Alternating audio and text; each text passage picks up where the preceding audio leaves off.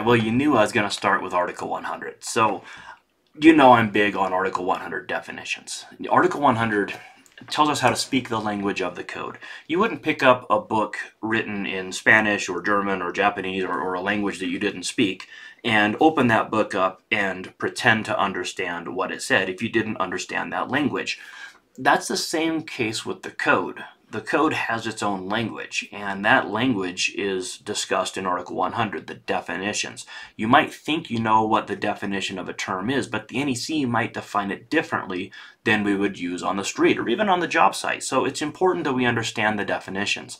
Now, there were some major changes that happened in Article 100 for the 2023 code. I'm just going to talk about the change that was made in the scope of Article 100 in this video.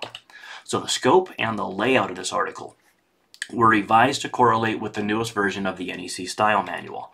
All right, so the NEC Style Manual is a, a list of, I don't want to say guidelines, but kind of requirements on, on how the code is actually written that's where you would find things that say like, listen, when you're writing a code rule, you need to use words like shall or shall not be required. Uh, you're going to put the metric measurement first and you're going to put the imperial measurement second. And if you have exceptions, any mandatory exception has to appear first before any permissive exception. And, you know, so that's the, the style manual. Now, the style manual also tells us how the code is laid out, chapter 1, chapter 2, chapter 3. And in the latest version of the style manual, they made a revision to say, look, all defined terms in the NEC need to be in Article 100. So before 2020 and going back as, as far as I've been around, uh, most terms were defined in Article 100 if they were used in more than one article.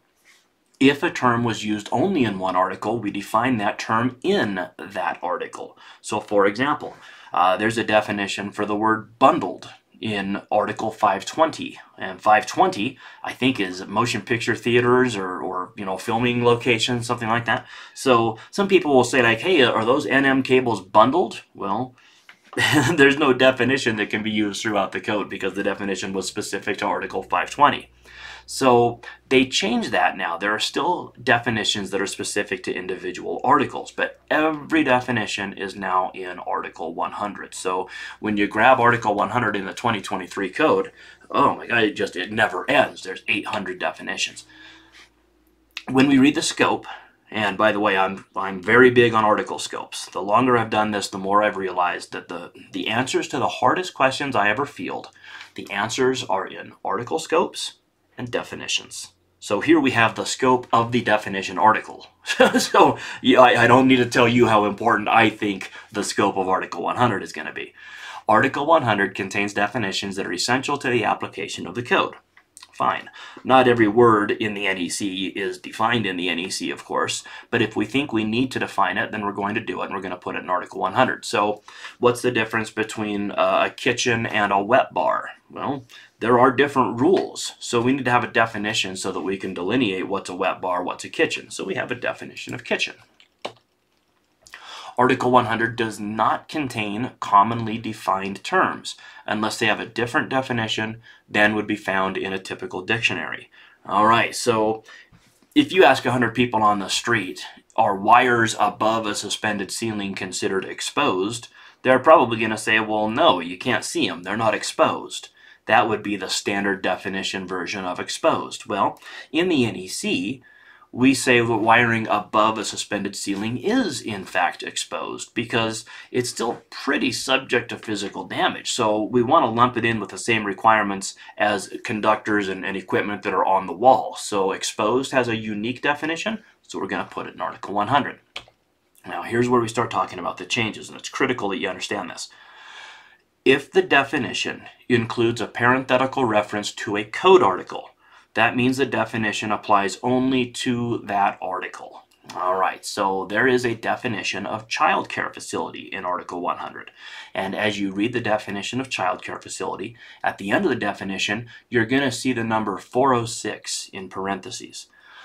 That means that that definition applies only to Article 406. All right, so why is it important that I know what a child care facility is? Well, because Article 406 has requirements for tamper-resistant receptacles in 406.12, and it says child care facilities have to have tamper-resistant receptacles. Well, what's a child care facility? You go to Article 100. Before you would have went to 406.2. Now you go to Article 100. So if it says 406, that definition only applies to Article 406. And I'm going to show an example of, of why it's so important that we understand that. Now, in addition to that, and this has been the case since, I think, 2005, 2008, the code making panel that's responsible for the definition is also found in parentheses at the end of the definition. So when you read the definition of clothes closet, for example, it says it's a non-habitable room or space primarily used for storing garments and apparel. And then it says CMP-1 that means code making panel 1 has ownership of that definition. Now listen unless you're on a code making panel or you're really deep into the code making process you can forget this part of it. All right, don't worry about who owns the definition, code making panel 2 or code making panel 7, it, it, it doesn't matter. But for those of us on the code making panels, we, we kind of do have to know who has ownership of the definition. So it says who has ownership and we know who to talk to and, and etc. So let's take a, a look at a couple of definitions. We have the definition of nurse's station. Now I'm not going to read through the whole definition, but at the very end you can see that it says 517 all right, that means this definition only applies when we're in Article 517, which is healthcare facilities. And then after that, it says CMP 15, which means Code Making Panel 15 has ownership over the definition. Now, again, you can forget the code making panel part. That doesn't really matter that much. Do not overlook the parenthetical reference to the code article. This definition only applies to Article 517. If we scroll down slightly with our eyes, we go to the definition of nursing home. And at the end of it, it's got this big long thing in brackets. Now that's another one that most of us don't have to worry about. If we see a bracketed reference in the code, what that means is that the text is extracted from a different NFPA standard. So the definition of nursing home actually doesn't really even belong to the NEC. Look, if you, if you read the definition of nursing home and you say, hey, that's stupid, we need to change that, don't change it in the NEC. Change it in NFPA 101 because that's where the definition comes from. All right, so where it says 101, 33, 152, that means it's in section 3.3.150.2 of NFPA 101. Again, doesn't matter to 99% of us, but if you're into the code change process, that's something that you would need to know. And, you know, it's a number that can be confusing, so we have to at least know what it is. Then we have code making panel 15 again, which we can forget. So here in these two definitions, the only number that's really important to us is that 517.